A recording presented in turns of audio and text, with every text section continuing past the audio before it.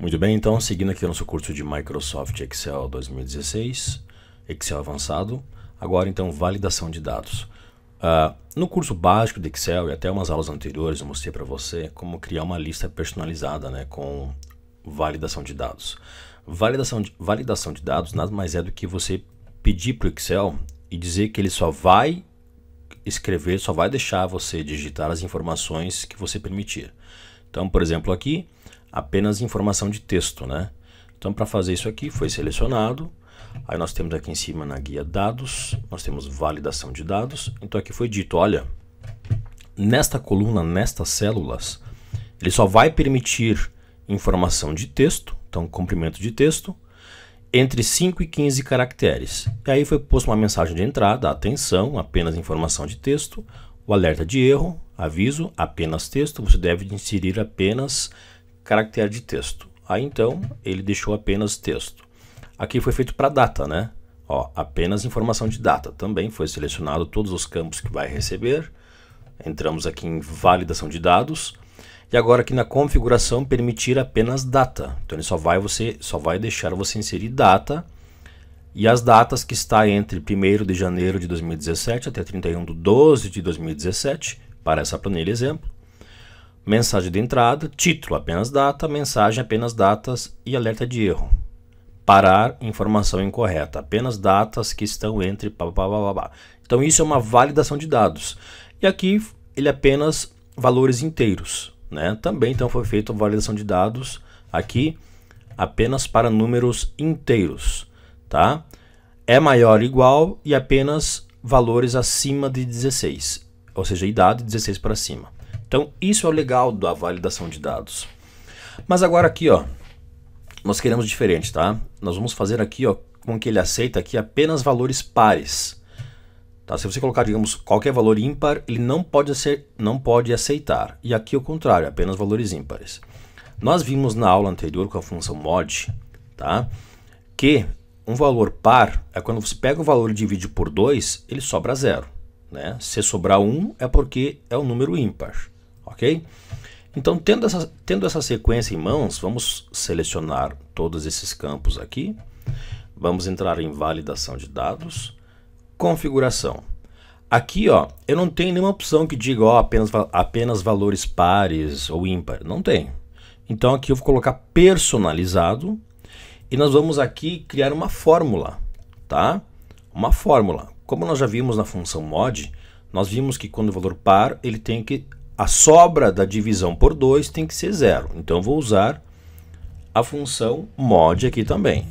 Mod, ok? Quando você usar o personalizado, você pode colocar uma fórmula, então aqui embaixo. Então mod, abre parênteses. O valor que está aqui, ó, tá? Ou seja, aqui em D3, ó. Então o valor que está aqui em D3, ponto e vírgula, a divisão dele por 2, tá? Fecha o parênteses, que é da função mod isso, porque a fórmula diz que é o valor, ponto e vírgula, e o seu divisor, então por 2, vai sobrar zero, tá?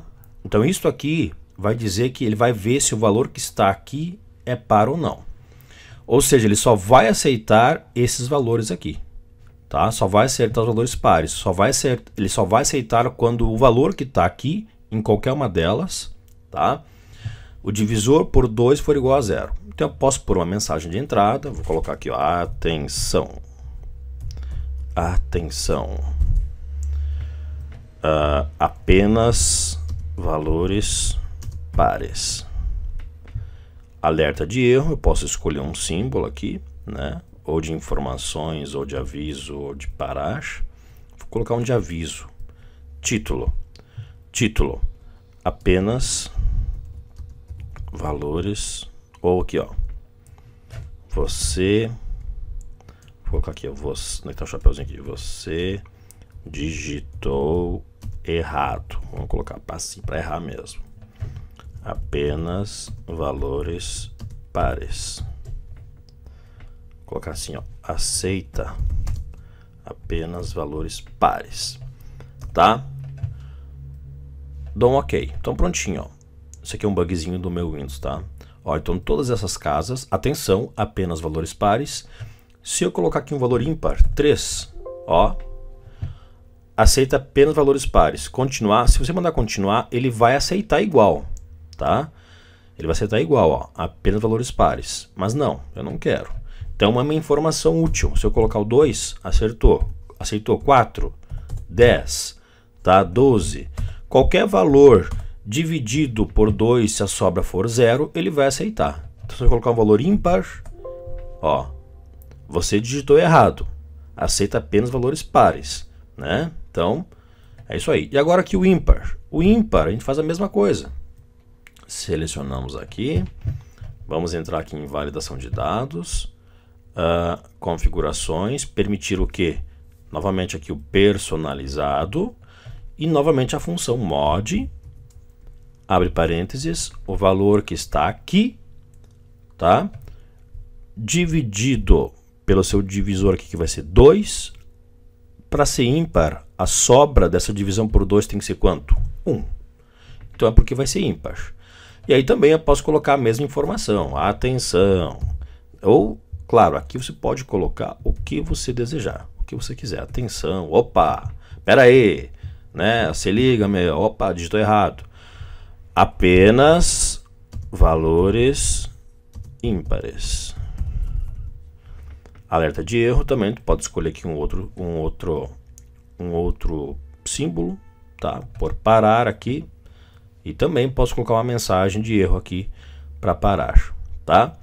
Então isso aí, vou dar um OK, ó, apenas valores ímpares. Então agora se eu colocar um valor par, ó, agora ele deu uma mensagem, ó. Viu que tem uma diferença aqui, ó, quando você coloca, quando a gente coloca aqui o símbolo de, de X de erro, ele não deixa você digitar a informação aqui dentro. Olha, esse valor não corresponde à restrição de validade de dados definida para essa célula. Eu não coloquei mensagem lá, tá? Então ele criou uma mensagem ele está dizendo para você que essa mensagem não existe. Aqui no quadro de aviso, como ele foi um aviso, ó, o aviso ele dá o aviso, mas deixa você digitar. Então também é uma diferença. Então ele dá um aviso, atenção aqui, né? Esse símbolo aqui, ó mas deixa você digitar. Se eu der sim, ele continua.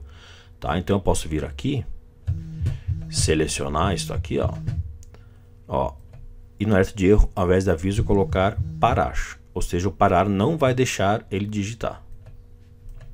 Ok, deixa eu apagar essa informação aqui. Agora sim, ó, 3. Ó, vendo, ó, repetir. Então agora ele não deixou eu dizer que sim. Ele não deixou continuar. Então essa é a diferença entre o aviso e o parar. Então agora está certinho. Se eu colocar o valor par, não aceita. Se eu colocar o valor ímpar, aceitou. Tá? Olha que beleza que fica. Vamos criar agora aqui ó, um, um outro campo, tá?